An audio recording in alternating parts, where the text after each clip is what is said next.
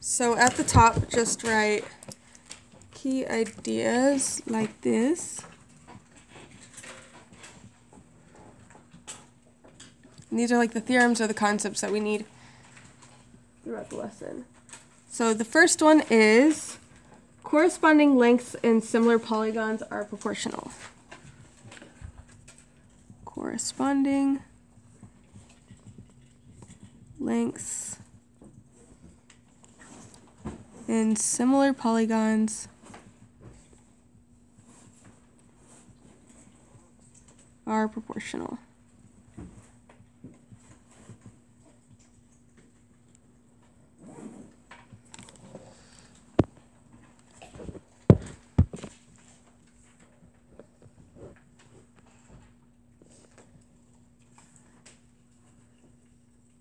Then the second key idea, idea is perimeters of similar polygons are proportional as well.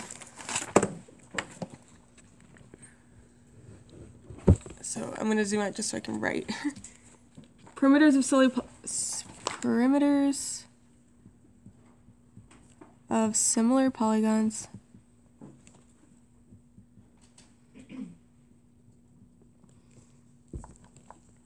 are proportional to side lengths. And we'll apply that in problems so we can look at what that means.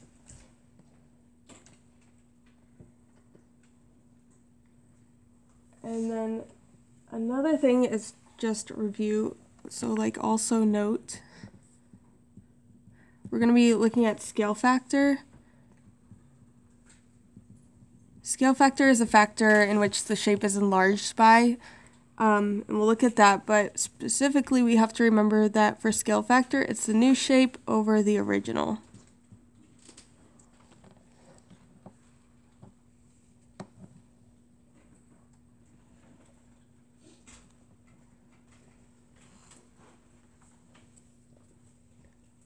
Okay, so using those key ideas, let's look at the first problem. It says find the scale factor, then list all the congruent angles and write the ratios of corresponding side lengths in a statement of proportionality. Um, so first of all, we're actually going to look at corresponding angles here.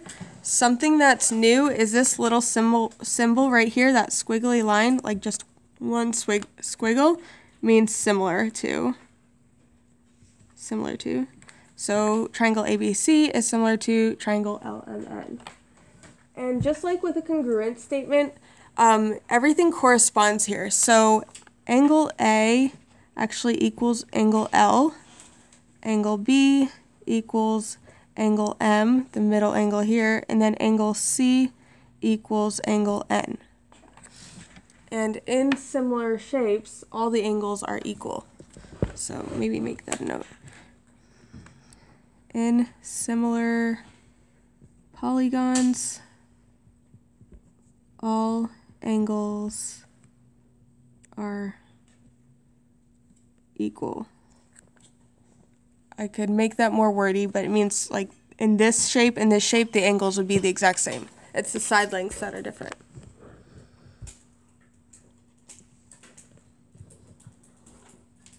Okay, so now we're going to look at the proportionality and try to find the scale factor. Um, in order to look at proportionality, we have to make sure that we're looking at the right parts, and every side has a corresponding side that's like its match. So this one, this side corresponds to this, and this is where we're using the colors. This one corresponds to this one. And then this side corresponds with this one.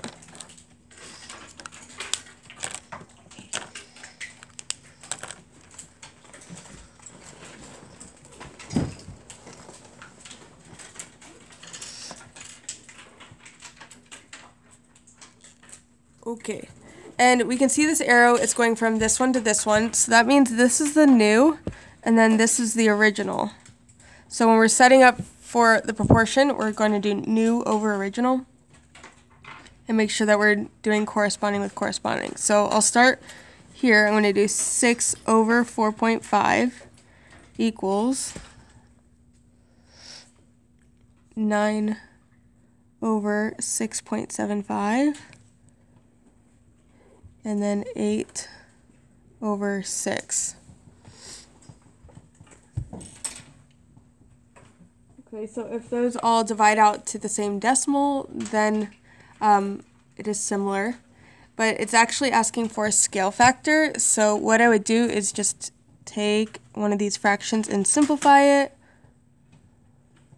8 divided by 2 would be 4, 6 divided by 2 is 3.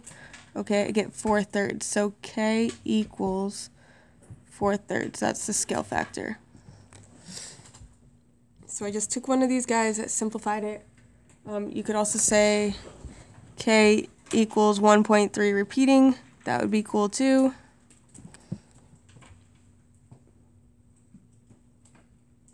Um, and then what the scale factor represents is it's what you would multiply these dimensions by to get to the second shape. So if you took 6 and multiplied it by 4 thirds or 6 and multiplied it by 1.33, you'd get the side length of the new shape.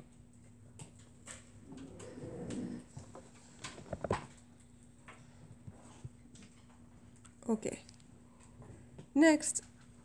Er, nobody's yelling at me. That's good. Okay. Next shape. Um, this one, we're going to go through the same process. The difference is here that this shape is in a little bit of a different orientation than this one. See how they like, like turned it almost, like, or 180 turn? Um, we have to make sure that all the corresponding sides match up when we're doing our proportions. So using your colors, just match stuff. So this goes with this. Looks like this one goes with this one.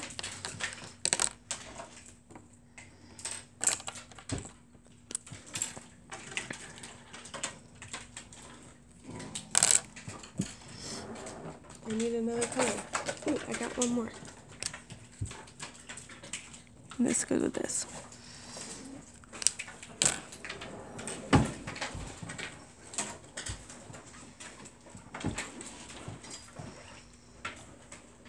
Okay, now that we identified our matches, we can set up our proportion. Remember, new over original, so this is our new, this is our original. So I might do blue first. 3 over 9 equals 1 over 3, 4 over 12, and 2 over 6.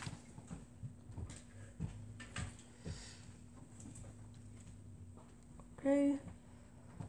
All of these simplify to one third. Um, definitely all proportional. These are similar. The scale factor, if I was to take one of these and simplify it, or just take the one in simplest form, is one third. And yeah, that's the scale factor. So if I was to take any one of these side lengths, I can multiply it by one third and get the dimensions of the new shape. Scale factor. I don't know who made it a K. It probably has to do with another language of some type. I don't know.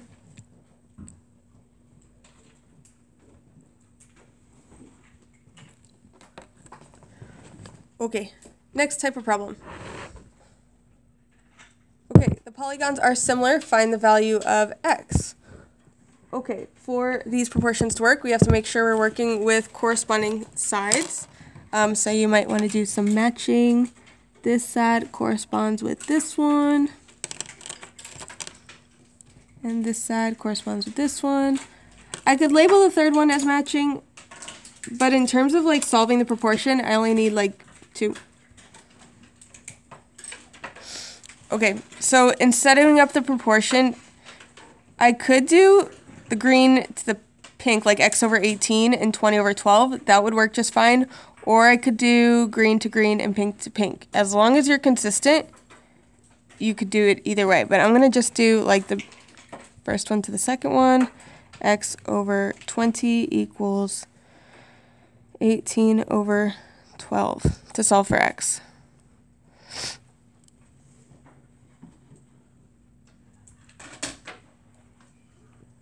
Okay, then use cross multiplication.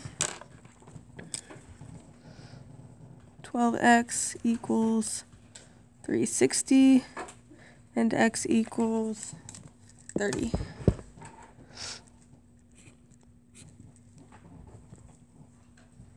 So that means this equals 30.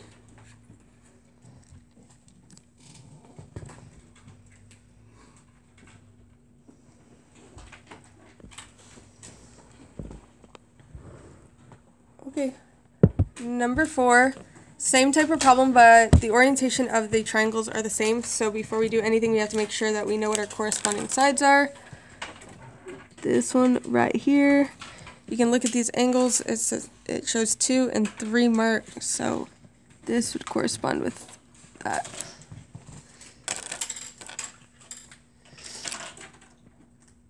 Then it doesn't matter which ones you choose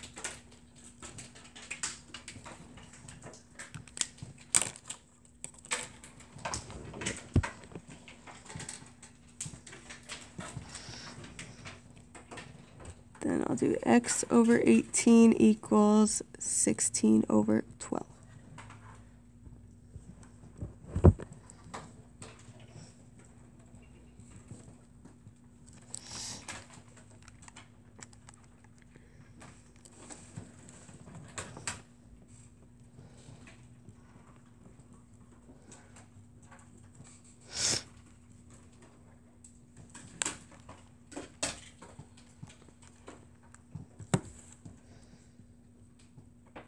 Get 24.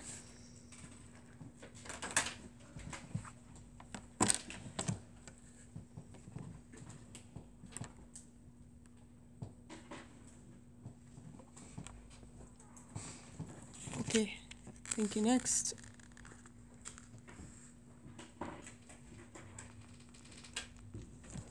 Do we get it? Should we move on to the next type problem? Is this easy?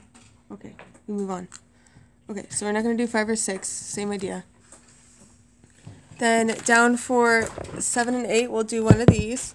It says identify the type of segment shown by the dashed line and value of the variable. So just like with the side lengths, the dimensions of the triangle will be proportional. So here it shows an altitude of each triangle It wanted us to identify what that is. It's an altitude or the height of the triangle. And this would correspond with this height over here. So 16 over x equals 18 over 27.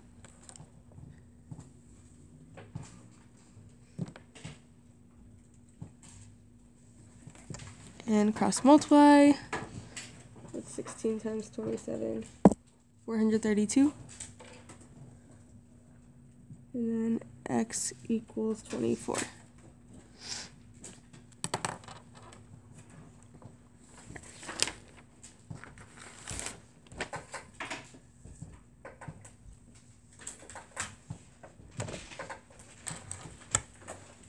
Okay, now we're going to move to the back and do a problem on the back.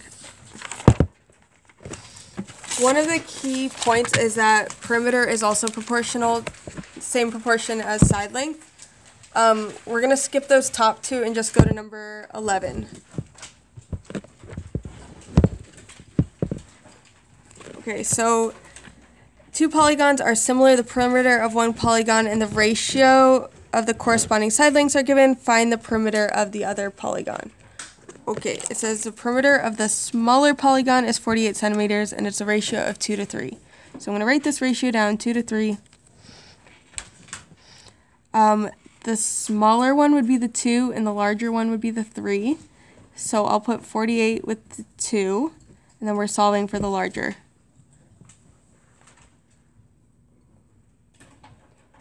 And then we solve using cross multiplication. 3 times 48. Thank you. Divide by 2. 72, thank you. So 72. And then we're going to do one more on the next page. Okay, flipping over to page 675, one of these area ones. Okay, here it says the polygons are similar. The area of one polygon is given. Find the area of the other polygon. This is another key concept that I didn't have you write down yet. Um, key idea. I'm trying to think of how to best write this. Let's see. You know what? I'm just going to show you. Then we will write it. Okay, so here's the side length. This corresponds with this. So we could say, okay, 3 over 6. It's 3 squared over 6 squared equals 27 over x. So side length squared equals area. Anybody have a better way to say that? Let me see how the book says it. Hmm? So side length squared equals area over area. Okay. So then we would just square this. 9 over 36 equals 27 over x. And then cross multiply. 36 times 27, IDK. 36 times 27. 972 divided by 9 is 108. x equals 108.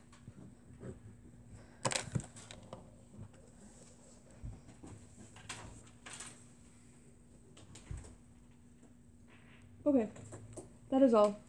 Um, you can get a laptop, start your homework. When you finish your homework, get your Khan Academy done. Then you can chill.